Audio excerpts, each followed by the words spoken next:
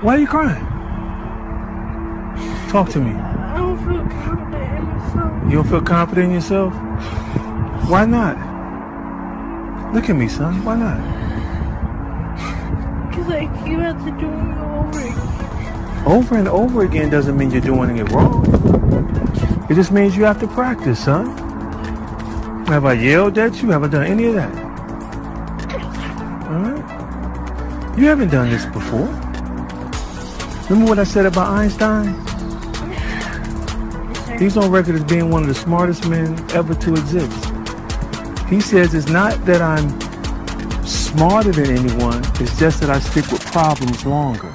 So in this case, it's not that he understands how to move in his move his hands and feet better than anyone.